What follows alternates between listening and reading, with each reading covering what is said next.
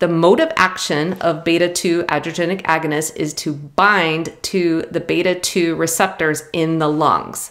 So, the way to remember that beta 2 receptors are in the lungs is that you have two lungs, as opposed to beta 1 receptors, which are on the heart, and you only have one heart. So, these medications bind to those beta 2 receptors and they result in bronchodilation. They help open up the airways. These medications do carry some common side effects, including like nervousness, tremors, possible chest pain, and possible palpitations.